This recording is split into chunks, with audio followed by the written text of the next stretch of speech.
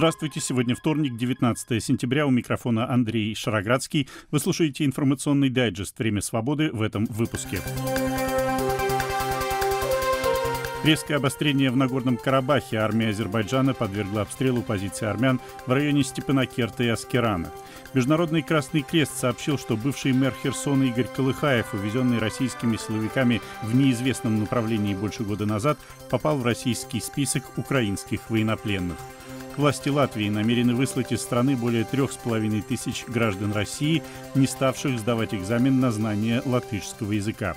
Также сегодня. Это уже предупреждение, что если Грузия не получит э, статус кандидата, никто не может, так сказать, выйти и протестовать. То есть, если вы выйдете, так сказать, на протестное выступление, пеняйте на себя. Накануне вынесения решения о предоставлении Грузии статуса кандидата на вступление в ЕС, грузинские власти обвинили ряд украинских силовиков в подготовке государственного переворота. Начну со срочных сообщений, которые стали приходить сегодня утром из Нагорного Карабаха. Азербайджанская артиллерия и беспилотники подвергли сегодня мощным обстрелам контролируемые армянами Степанакерт и Аскеран. Баку заявляет, что огонь ведется исключительно по военным целям. В социальных сетях распространились видео попадания в предположительно зенитно-ракетный комплекс, а потом и в жилые кварталы Степанакерта. Власти Азербайджана также обвинили Армению и Карабах в подрыве автомобиля Государственного агентства автомобилей автомобильных дорог и военного транспорта на минах во вторник. Утверждается, что в результате погибли и были ранены азербайджанские военные. Российские миротворцы, которым поручено сохранение режима перемирия в Карабахе, в ситуацию не вмешиваются. Обострение произошло почти сразу после того, как после длительной блокады в Нагорный Карабах с армянской и азербайджанской стороны стали прибывать конвои с продовольствием. Впрочем, на сегодняшнем брифинге в Москве после стандартных призывов к прекращению огня и после отрицания того факта, что Азербайджан заранее проинформировал Москву о планах своей военной операции, пресс-секретарь МИД России Мария Захарова обрушилась с критикой на Ереван, что тоже может быть косвенным объяснением случившегося. Нас не могут удовлетворять заверения властей в Ереване о том, что их последние шаги, о которых я сказала, это и запуск процесса ратификации Римского статута МУС, и вот эти явно антироссийские контакты с киевским режимом и совместные учения с Соединенными Штатами никак не затрагивают отношения Армении с Россией. Теперь Вашингтон сказал, что затрагивают. Такого рода действия официальный Ереван подобными шагами создает благоприятные условия для проведения Вашингтоном и Брюсселем враждебной по отношению к России политики. Это была пресс-секретарь Министерства иностранных дел России Мария Захарова. А в Украине атакам российских беспилотников минувшей ночью подверглись Львов, Херсон, Кривой Рог, Одесская, Хмельницкая и Николаевская области. Во Львове атака была самой длительной с начала полномасштабной войны в Украине. Вот что рассказывает мэр Львова Андрей Садовой. Ну, по-перше, якісно спрацювали наши. Во-первых, наши службы сработали, и несколько дронов было сбито. Но и осколки попадали, и были, конечно, попадания. Я могу только сказать, что уничтожено несколько складов, в том числе складов, где было продовольствие. Это очень трагично. Вы знаете, что Львов — город гражданский. У нас много гуманитарных складов, продовольственных складов. И эти нелюди по ним лупят. То есть делают то, что запрещено всеми конвенциями, проблеме, но для них это не имеет значения. Они много раз лупили по детскому саду до этого, по жилым зданиям. Теперь взялись за продукты питания, за продовольственные склады. Вот такова реальная ситуация на данный момент.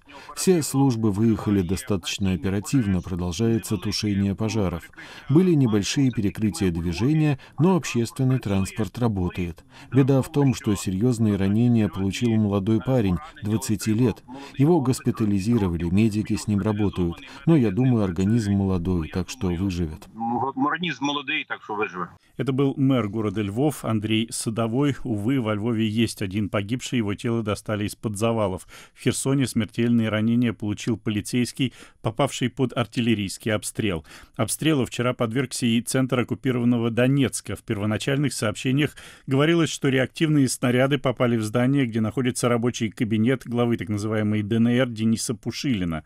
Но вот что сказал об этом обстреле Сергей Гармаш, украинский журналист, бывший представитель Донецкой области в трехсторонней контактной группе по регулированию в Донбассе. Было попадание в здание, которое называют э, зданием э, главы так называемой ДНР, хотя на самом деле, по моей информации, и, собственно, широко известно в Донецке, глава ДНР оттуда выехал еще год назад, после первого попадания в это здание, это было 23 августа 2022 э, года, и после этого он уехал э, и находился его кабинет в здании э, Донецкой железной дороги, и в ноябре, опять же, 2022 года было попадание туда, и он переехал в третье место, поэтому то, что сейчас говорят о попадании в здание офиса главы ДНР, это не совсем, скажем, ну, отвечает действительности. Хотя там какие-то службы остались, но самого Пушилина там уже давно нет.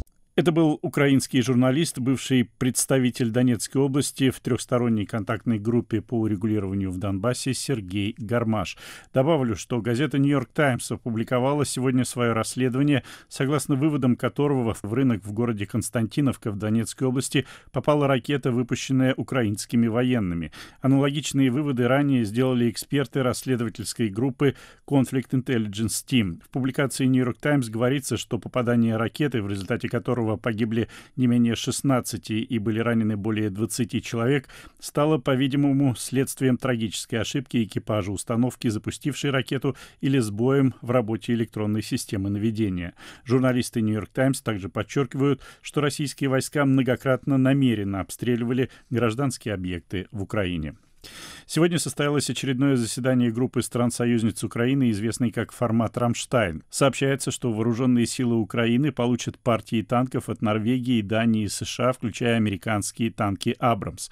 А президент Украины Владимир Зеленский прибыл в Нью-Йорк, где выступит на сессии Генеральной Ассамблеи ООН и на заседании Совета Безопасности. Планируются также его переговоры в Вашингтоне с президентом США Джо Байденом. О подробностях этой поездки я буду рассказывать в следующих выпусках, а пока еще об одной теме, связанной с ситуацией в Украине. Международный комитет Красного Креста подтвердил, что мэр украинского города Херсон Игорь Колыхаев, занимавший этот пост на момент российского вторжения в 2022 году, находится в плену. Колыхаев продолжал исполнять свои обязанности и после начала оккупации Херсона.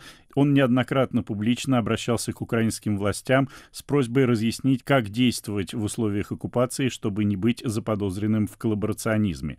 В июне прошлого года Колыхаев был увезен российскими военными в неизвестном направлении. Попадание в списки пленных может косвенно свидетельствовать о том, что Колыхаева готовят к обмену. Вот что рассказывает его сын Святослав Колыхаев. Он исполнял свой э, государственный долг, исполнял то, ради чего и почему выбрали его, его избиратели, избрали люди. И оставался, я бы сказал, э, примером для остальных людей, которые были в городе, примером украинской державности и примером, наверное, нерушимости и каким-то, может, стимулом сохранять хоть какое-то малейшее спокойствие. Для этого я оставался. Понимал, что может произойти то, что в итоге произошло. Принимал эти риски, но продолжал э, находиться, продолжал исполнять свои обязанности, управлять городом насколько мог. Я думаю, что варианты выехать были, да, насколько они были реальными, мне трудно говорить, но я думаю, что в таком случае ему бы украинская сторона должна была бы в этом помочь. Задержали его на рабочем месте вместе с э, другими работниками горосполкома. Задержание происходило в таком формате, что просто приехал автобус с военными в масках, да, и их без всяких э, там обвинений, да, каких-то дел забрали в этот автобус и увезли в неизвестном направлении. Да, потом мы узнали, что, это, что их повезли в следственный изолятор временного содержания.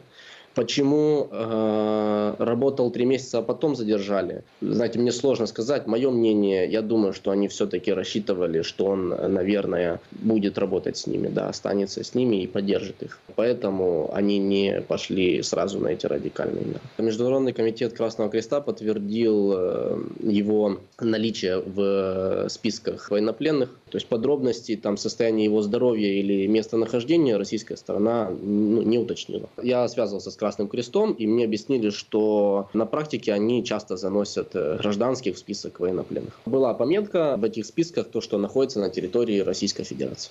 Про форму обмена, про варианты, про сроки ничего не известно. У меня нет такой информации. Это был сын бывшего мэра Херсона Игоря Колыхаева Святослав Колыхаев. Вы слушаете информационный дайджест «Время свободы». Сегодня вторник, 19 сентября. Тему выпуска представляю я, Андрей Шароградский. Теперь о другом обмене, обмене заключенными, который провели Соединенные Штаты и Иран при посредничестве Катара. Иран освободил пятерых американских граждан в обмен на освобождение пятерых иранцев, отбывавших заключение в США, и на разморозку 6 миллиардов долларов, принадлежащих Ирану. О дискуссии в Америке по поводу этого обмена рассказывает наш вашингтонский корреспондент Владимир Абаринов. Об условиях заключенной сделки стало известно на прошлой неделе. Критики администрации Байдена обвинили ее в том, что она поощряет враждебные режимы к незаконному задержанию еще большего числа американцев. На эти обвинения ответил представитель Совета национальной безопасности США Джон Керби. Я также хочу внести ясность. Это не какая-либо оплата. Это не выкуп, это не доллары налогоплательщиков США, и мы не сняли ни одной из наших санкций в отношении Ирана. Иран не получит никакого смягчения санкций. Мы продолжим противодействовать нарушениям прав человека со стороны иранского режима, мы продолжим противодействовать их дестабилизирующим действиям за рубежом, их поддержке терроризма, атакам на морское судоходство в Персидском заливе и продолжающейся поддержке войны России против Украины. Эти объяснения не удовлетворили журналистов. Я знаю, вы спорите с тем, что это выкуп. Многие критики этого соглашения говорят, что это именно так. Почему вы считаете, что в будущем это не побудит плохих акторов задерживать больше американцев?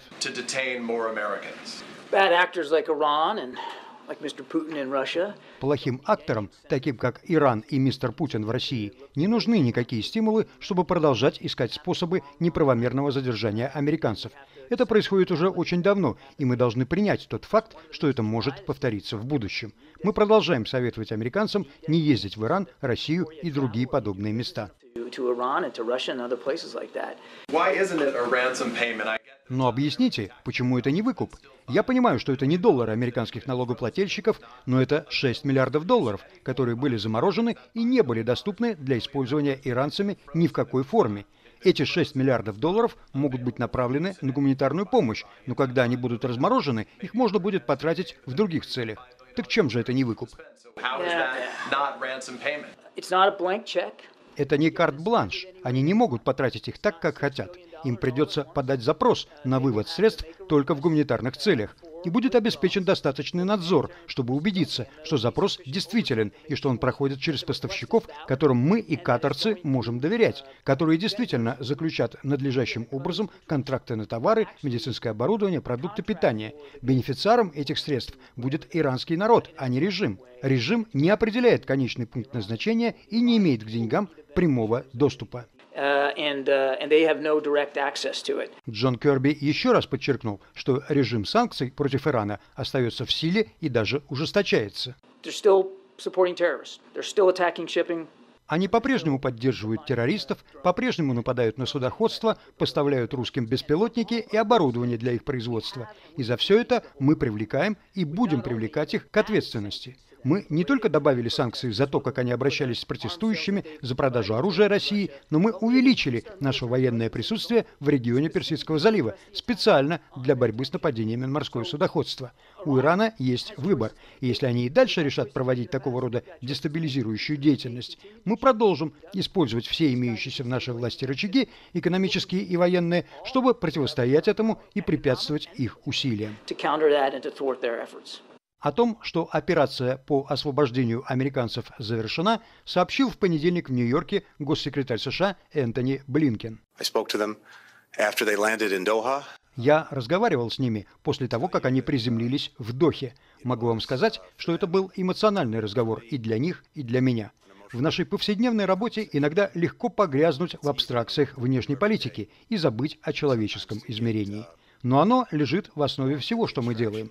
Сегодня свобода этих американцев, так долго несправедливо заключенных в тюрьму в Иране, означает некоторые довольно простые вещи. Это значит, что мужья и жены, отцы и дети, бабушки и внуки могут снова обнимать друг друга, снова видеться, снова быть друг с другом. Так что это день, за который я благодарен судьбе. Блинкен пообещал и впредь прилагать все усилия для освобождения незаконно задержанных или осужденных американцев. При нынешней администрации мы вернули домой 30 американцев из стран, где они были несправедливо задержаны. Эта работа будет продолжаться. Мы будем каждый день работать над тем, чтобы осложнять эту практику. Все большее бремя будет ложиться на те страны, которые этим занимаются. И в ближайшие дни вы увидите здесь, в Нью-Йорке, в Организации Объединенных Наций, наши усилия по сотрудничеству с другими странами, чтобы сделать именно это – Наконец, позвольте мне сказать, что в ходе всех этих усилий, в ходе работы, направленной на возвращение на родину американцев, президент Байден продемонстрировал, что он готов принимать трудные и сложные решения.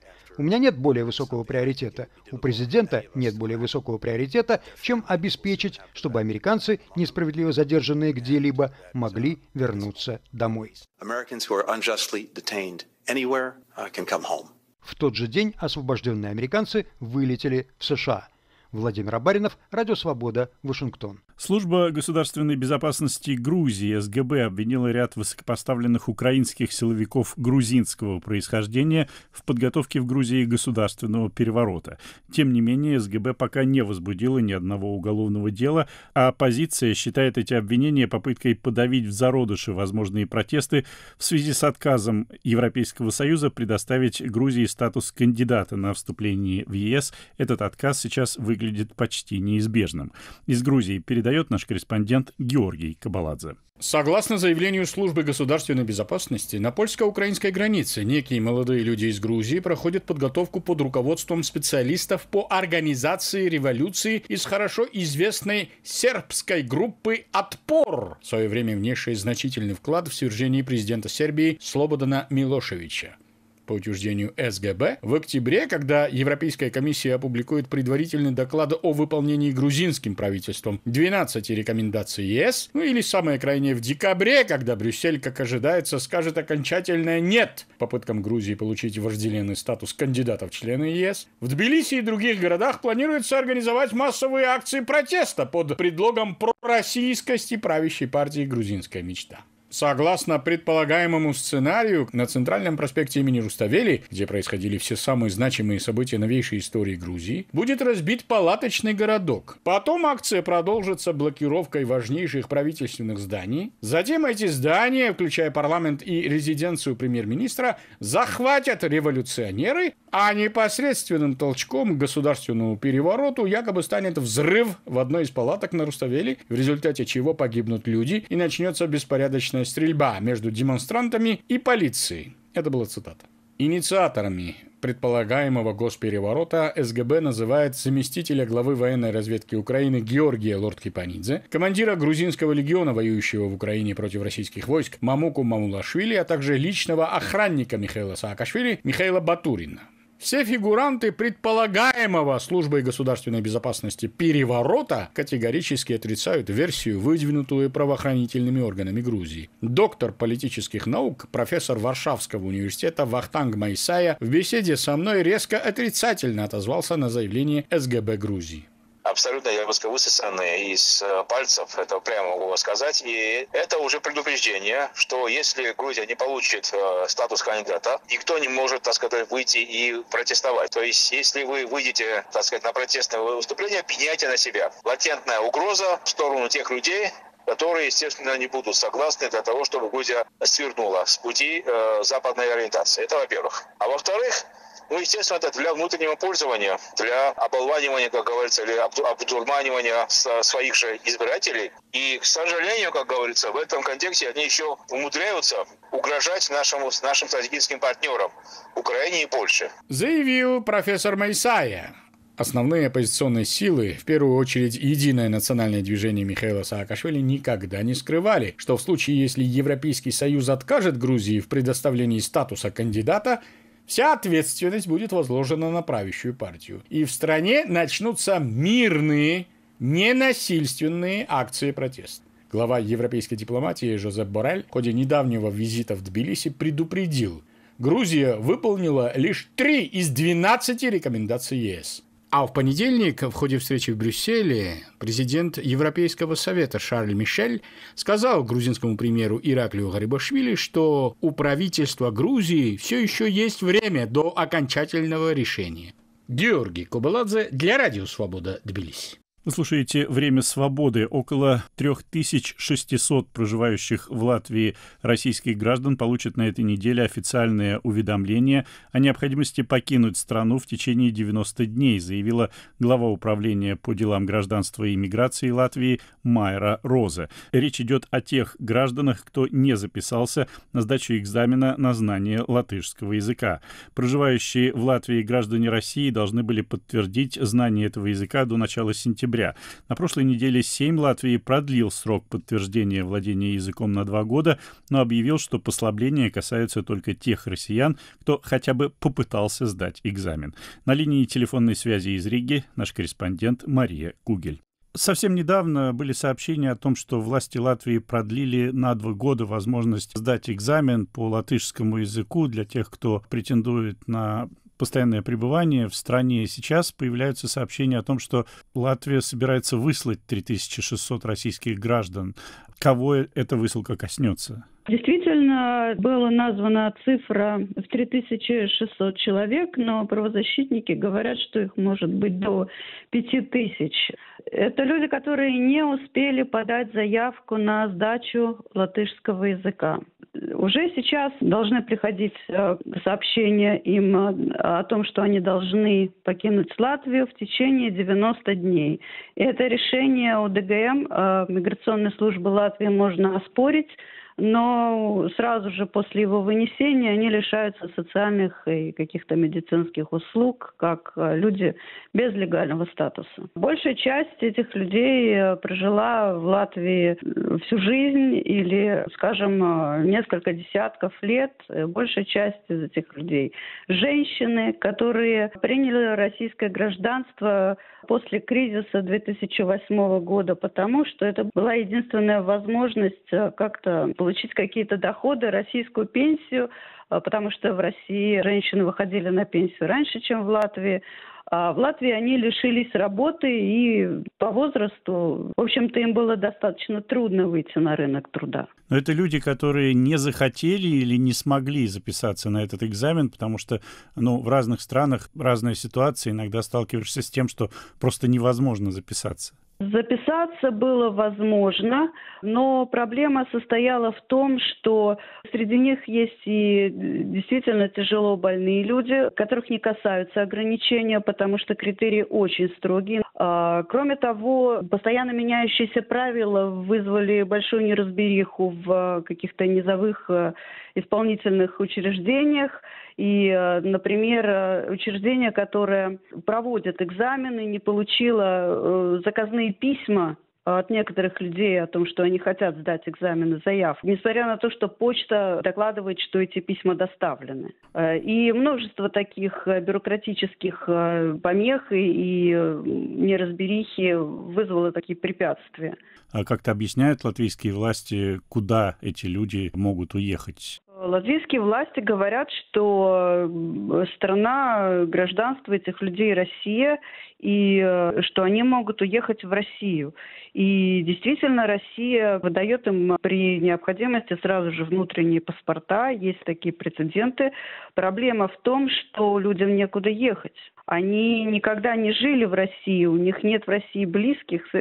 Среди этих людей есть пенсионеры, у которых вообще нет, нет близких. Одинокие люди, совершенно не приспособленные к изменившейся действительности. Они просто, возможно, не могли подать заявку, потому что ничего не поняли.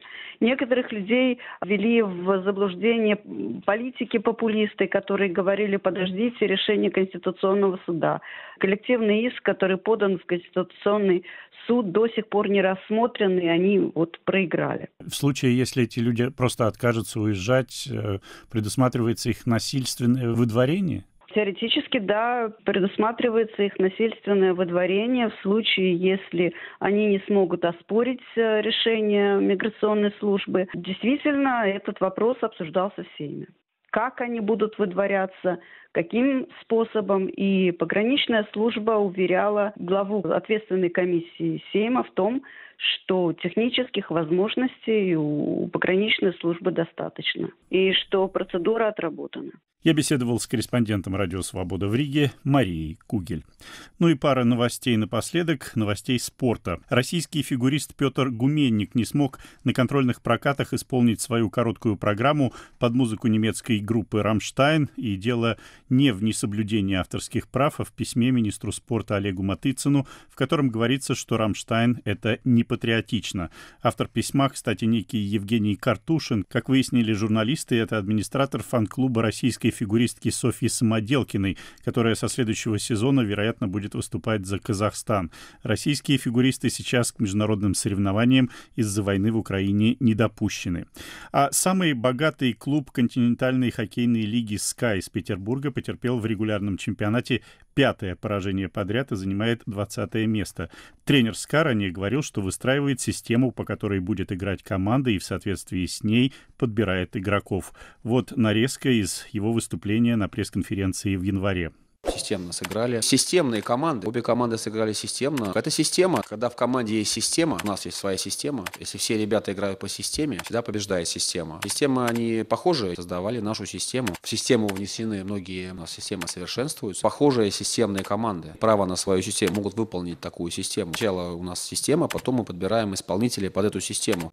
Состав СКА по сравнению с прошлым сезоном действительно сильно изменился. Многие бывшие игроки сейчас с особым удовольствием забивают бывшему клубу или блещут в играх с другими командами. Тренер сетует на судейство, говорит о временных трудностях и о том, что весь сезон впереди. Это действительно так. И да, я забыл представить тренера. Это Роман Ротенберг, сын Бориса Ротенберга, ставшего миллиардером благодаря близкой дружбе с Владимиром Путиным. До назначения старшим тренером СКА Роман Ротенберг опыта тренерской работы с командами такого уровня не имел. Вы слушали информационный дайджест «Время свободы». Его темы представил я, Андрей Шароградский, продюсер выпуска Андрей Амочкин. Наш подкаст можно слушать на сайте «Радио Свобода». К вашим услугам популярные приложения подкастов и наша платформа на базе хостинга YouTube «Радио Свобода Live». Подписывайтесь на нее и на телеграм-канал «Время свободы». У меня на сегодня все. До свидания.